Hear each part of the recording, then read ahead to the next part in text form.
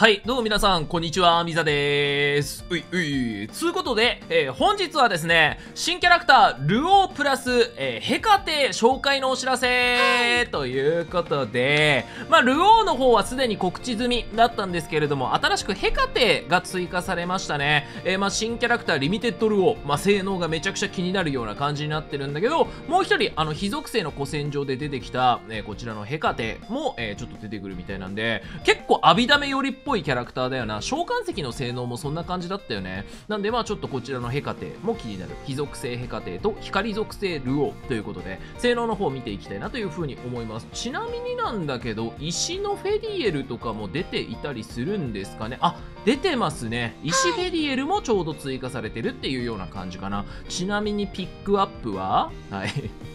えー、フェディエル、ルオー、えー、ヘカテっていうような感じか。うん。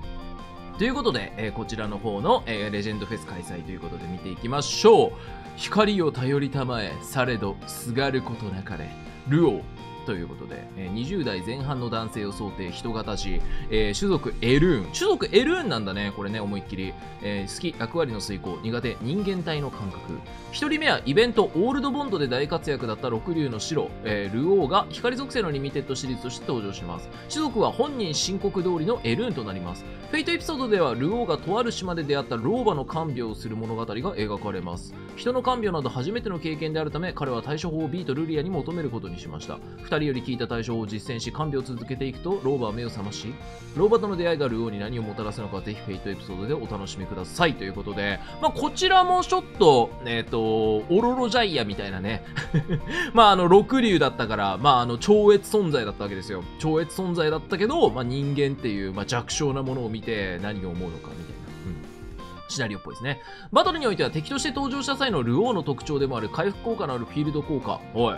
回復効果のあるフィールド効果を持ちつつ、光属性の味方の HP が40%未満になるまで効果が継続する強化効果。で、味方の支援回復役と様々な活躍をしてくれることでしょう。うん。炭鉱のノリと、HP が40%以上の光キャラに炭鉱のノリと効果。えー、炭鉱のノリと効果は活性、攻撃アップ、クリ率アップ、会心。HP が、おこれ永続だ !HP40% 未満になるまでずっと続いていくんだ。これ強くない？普通に。CT18、ターン短縮。ルオーのイカズチが味方の光キャラに力を与え、炭鉱のノリトという独自の効果を付与する強化アビリティです。炭鉱のノリト効果中は活性、攻撃、クリ率アップ、会心を付与する。結構強力じゃない？会心効果で与ダメが上がるから、まあアビリティダメージ回数系統を持ってるキャラクターとかと相性も良さそうだし。うんただし、炭鉱のノリト効果が付与されたキャラクターの HP が40%未満になると効果が解除されてしまうので、後述するアビリティ、白の後期で HP を回復し、炭鉱のノリと効果を維持しましょう。うん。降雪層。敵に6回光属性ダメージ。攻撃ダウン累積。特殊技ダメージダウン累積。回復負荷。ほー。特殊技ダメダウン累積回復効果が。結構嬉しいよね。炭鉱のの生命の五行発生時、通常攻撃後に自動。通常攻撃後自動発動。光から天が刺す、えー、天から刺す光が槍のように敵を貫くダメージアビリティです。敵一体に6回光属性を与えると同時に、攻撃ダウン累積と特殊技ダメージダウン累積回復負荷を付与し、敵からのダメージを下げることで炭鉱のノリと効果を維持しやすくなります。また、口述するフィールド効果、生命の五行公開発生中は、えー、ルオーの、えー、通常攻撃後にアビリティ、降雪層が自動発動しますので、敵の攻撃力をどんどん下げてしまいましょう。うんなるほどね。特殊技ダメージダウンって優秀だよな。特に古戦場やってると思うわ。ね、なんか特殊技ダメダウンのおかげで、なんか生きてるなって思うシーンが結構ある。うん。まあ、あの、次の闇古戦場で言うと分かりやすいところで言うと、多分、コウ君とか、そういう感じかな。まあ、あの、水属性で言うと、えー、ソシエとかそうだけど、まあ、特殊技ダメダウンって結構優秀なんだよね。これ嬉しそうだね。えー、白の後期、えー、フィールドに生命、フィールド生命の高校で照らす、五校で照らす。ルオーのイカズチが視界を白く塗りつぶし、フィールド効果生命の五校を発生させるアビリティです。生命の五校はマルチバトルなどでも自分しか影響のない個人用フィールド効果となり、効果は永続です。効果中は敵の攻撃力が30%上昇しますが、光属性キャラ全員が毎ターン10%の HP 回復、最大戦。少ないの攻撃力上昇結構エロいのルオーは生命の5個があると効果が発動するアビリティを多数持つので、積極的にフィールド効果を発生させていきましょう。結構デメリットありそうな感じするね。敵の攻撃力30%アップとか。うん。まあまあ、どれだけメリットがあるんだい？奥義効果、えー導きの破線、銅の破線、光ダメ特大、えー生命の五行発生時、無属性追加ダメージ。六竜の姿を権限させ、ほとばしるイカズチで敵を粉砕するルオの奥義です。フィールド効果、生命の五行発生中には無属性ダメージ、え1、300万 ?1、10、100、1000、万、10万、100万、300万与える強力な追加効果を持っています。空を染める白き慈悲、えーフィールド効果、生命の五行発生時、光キャラに弱体耐性、お強いね。連撃率アップ、奥義性のアップ。はあ。え、これ強くない？普通に。これ嬉しいな。普通に嬉しいぞ。生命の五行発生中、味方の光キャラを大きく強化するサポートアビリティ。連続攻撃確率が上昇するため、アビリティ、えー炭鉱のノリとで付与される強化効果と相性がいいです。まあ、あの、会心とクリ率アップがつくから、まあ、あの、よだめアップ。会心効果でよだめアップなんですよ。だから連撃率上昇は、まあ、あの、この会心と相性がいいって話かな。積極的にフィールド効果を使い、サポートアビリティの効果を発動させていきましょう。うん利害の城。フェイタルチェーン発動時敵全体の強化効果を一つ無効化。うーん、なるほど。六竜が共通して所持しているフェイタルチェーン発動時のサポートアビリティで、ルオーのイカズチが敵を浄化します。強化効果を使用してくる敵が多いバトルシステムバージョン2では活躍の場が多い効果となっています。アビリティ、空を染める白き慈悲の効果で連続攻撃確率アップがあるので、こちらを活用し、奥義頻度を高めることでフェイタルチェーンゲージのため、フェイタルチェーンをどんどん発動させましょう。ということで、なるほどね。まあ、まず1個目からいこうか。まあ、ここら辺はめちゃくちゃ、なこの扇効果の無属性追加ダメはそんなにめちゃくちゃ影響あるなって感じはしない。ね。無属性300万ね。扇に普通に加えて。うん。これでかいね。生命の5個。まあ、フィールド発動時、弱体耐性アップ、連撃アップ、奥義性のアップ。まあ、この弱体耐性アップって大体弱体無効ぐらいの、なんか効果を得られる感じがする。光属性っていうと、あの、アークがあるんですよね。アークって音調スキルがあるから、あの、弱体耐性上がるんで、まあ、あの、ここの弱体耐性アップ、プラスアークとかで100になったりとかするかもしれないし、元から100だった場合は耐久振りたいし、みたいな感じかな。まあ、何にせよ弱体耐性アップがここでもらえるっていう風になると、まあ、マウント系統の効果とかもいらなくなるし、まだ面白い感じがあるね。うん。で、えー、フェイタルチェイン。まあこれディスペルはどうなんだろうな。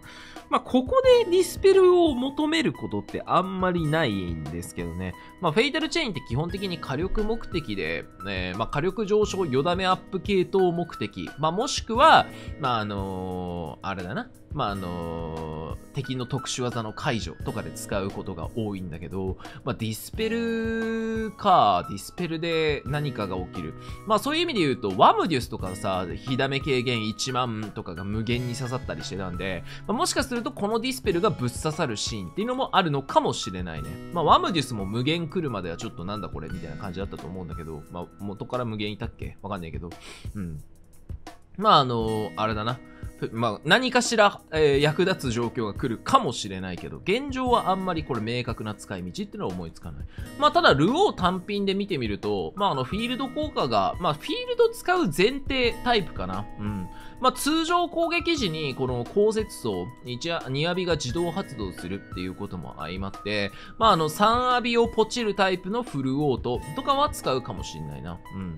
まあ、1アビがね、HP40% 未満だったら永続でバフをするっていうこともあるんで、まあ、HP が40%未満になる可能性がないですっていうのであれば、まあ、この1アビ目的で、まあ、完全フルオート、3アビを押さない完全なフルオートみたいなのもありかもしれないね。まあ、これちょっと効果量によるかなっていうような感じがする。3アビを押さない場合は、えっ、と、防御力が下がらないんですよね。3アビを押した場合、敵の攻撃力が30%上昇するんだけど、まあ、あの、この場合は、えー、まあ、これを押さなかった場合は、えっ、と、あれだな。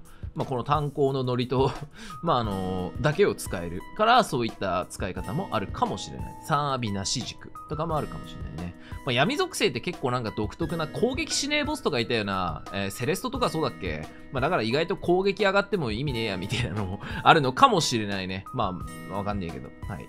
まあ、そういった意味で結構面白いキャラだなと思いました。はい。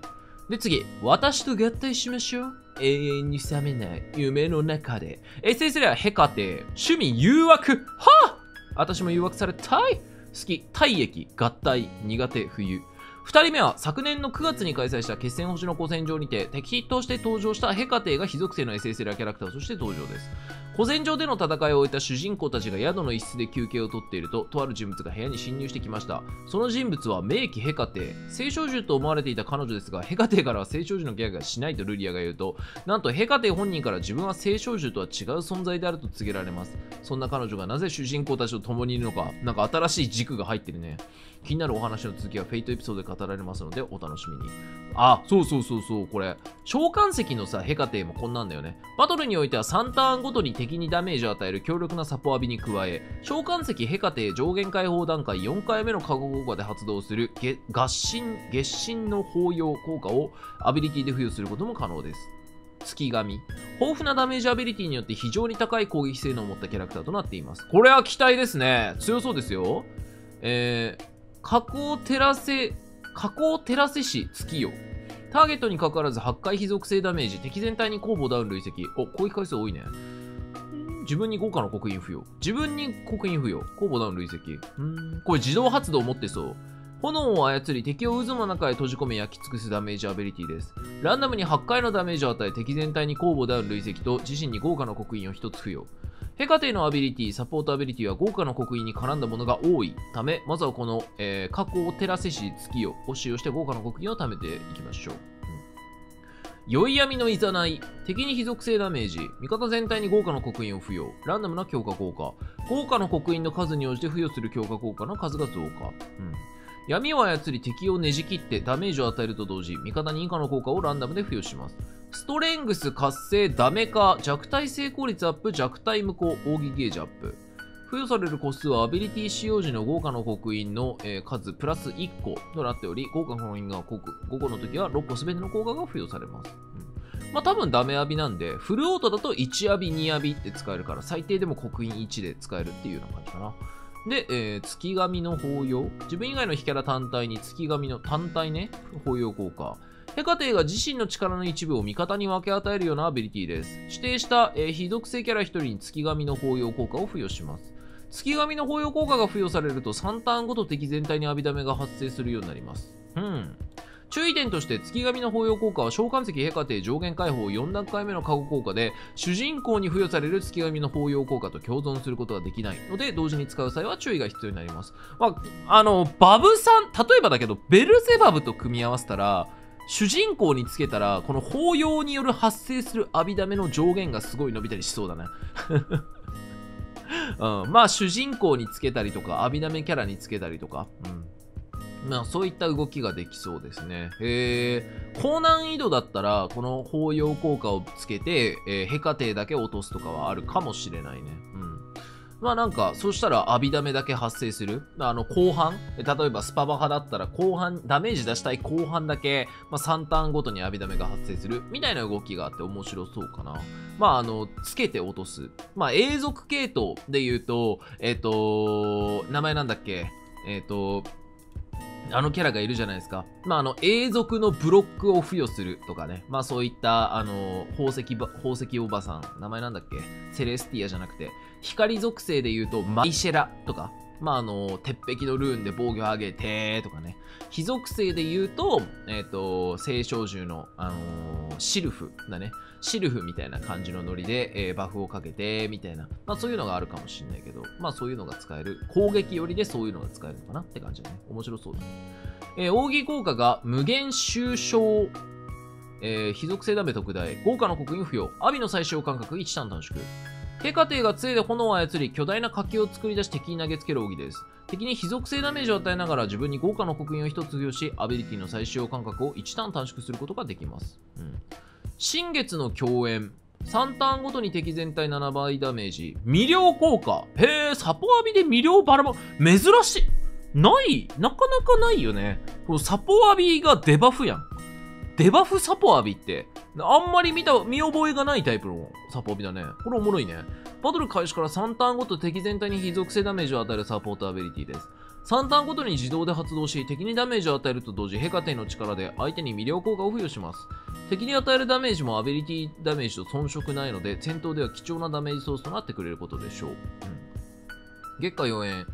効果の刻印に応じて以下の効果を順に得る。攻撃防御、確定連撃、アビダメ上限アップ、火ダメージ時に加工照らせし月夜が発動。わー火ダメージ付与されている豪華の刻印の数に応じて強化効果を得るサポートアビリティです。刻印が4の時に発動するダメージ上限アップはヘカテと非常に相性がいい効果となっています。ただ、刻印が5になるとダメージを受けた際に加工照らせし月夜が発動するようになります。どれも強力な効果となっていますので、積極的に刻印を集めていきましょう。はあ、強そうですね、これは。へえー。この1アビのダメージ量によるかな。最近のさ、グラブルってさ、なんか余ダメージアップが強いのが、運営も本格的に分かってきてさ、8回ダメージだから強いっていう概念あんまりないんだよ。昔は強かったんですよ。8回ダメージだから強い。